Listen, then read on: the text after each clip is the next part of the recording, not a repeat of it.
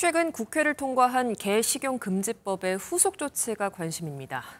전국에 있는 식용견 50만 마리는 어찌할지, 또 농장주의 폐업이나 식당의 업종 전환은 순조롭게 진행될지 여부인데 갈등은 이제부터 시작이란 말이 나오고 있습니다.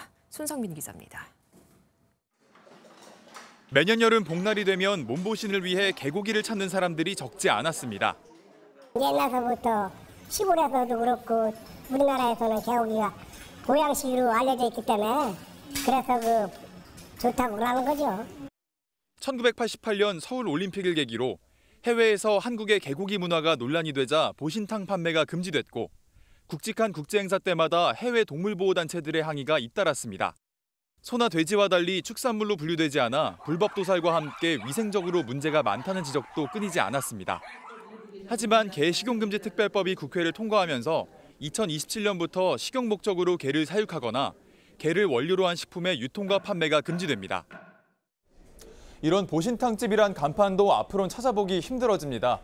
개 식용금지 특별법이 공포되면 3개월 내에 운영 현황을 지자체에 신고해야 하고 6개월 내로 폐업이나 업종을 변경하겠다는 계획서를 제출해야 합니다. 반면 개고기 식용 문화는 개인의 취향인데다 업계의 생존권을 침해하는 법률이 정당한 보상과 세부 대책도 마련되지 않았다는 비판을 받고 있습니다. 그럼 단골 고객에 의해서 지금까지 생계를 유지해 왔는데 어느 날 갑자기 그 사람들을 못 먹게 하고 법으로 금지시키는 상황이 돼버리니까 3년간 유예 기간을 거친다곤 하지만 관련 업주들은 사실상 폐업 통보라는 입장입니다. 할 수 있는 게 뭐가 있어야지 내가 하지. 이거를 몇십 년을 해갖고 딴걸할줄 몰라. 개 식용업계는 폐업 보상으로 개 한 마리당 5년치 수익인 200만 원을 요구하고 있어 최대 4조 원이 필요합니다. 또한 전국의 개 사육 농가에 남아있는 52만 마리의 처리에 대해서도 구체적으로 정해진 것이 없어 안락사될 우려도 큰 만큼 대책이 시급합니다.